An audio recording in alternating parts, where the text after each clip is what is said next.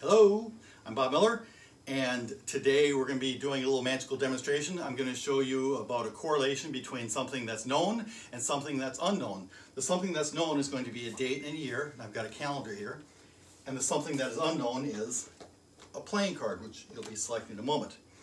But first, um, I want to tell you about something uh, unusual about cards and calendars. If I asked you to name a special date in the year, would you what would you say? April 15th. Okay, and April 15th has special significance for you? Yeah, it's my, Okay. birth, my birthday. Okay, great.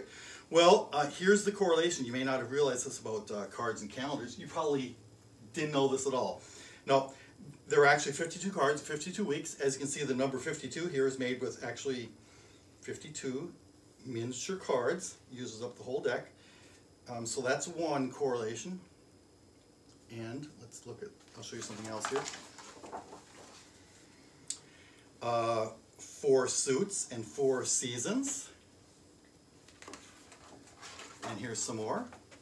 There are actually 13 ranks, ace through king, in a deck of cards.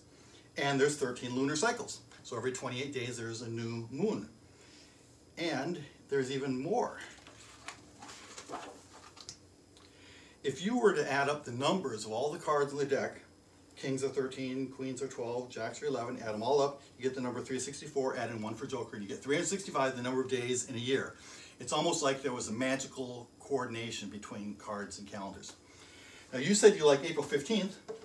Mhm. Is that what you said, April 15th? April 15th, yeah. Um, oh, I would like you just to give the cards Oh, a little okay. mix up, just so you know that they are, Okay. doesn't have to be anything fancy, just a little mix Okay, well, like it's that. not going to be fancy. Okay, okay, that's good.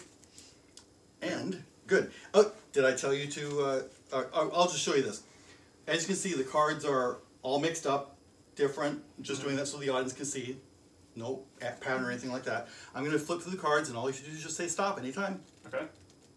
Stop. Right there, okay. We're gonna take off that card, No, we're not gonna look at it though. Fair enough? Could stop me at any of those guys? Now, there's something else I wanna tell you about, uh, about this calendar. On every day of the year, I've written down a different playing card. They're all different. Of course, there will be some cards repeated, but every one is different, and you can watch, I mean, you can look carefully, see if you see any type of a pattern. There's no pattern or anything like that. And we're just gonna go through here and look for your date, which you said was April fifteenth. Mm-hmm. What do you see on April fifteenth? The Seven of Spades. The seven of spades, right there. Yep. All right. There's the card you selected, Mm-hmm. Oh. Whoa, yeah. Oh, All right. okay. and there you go, and that's PreDate. All right, that's all.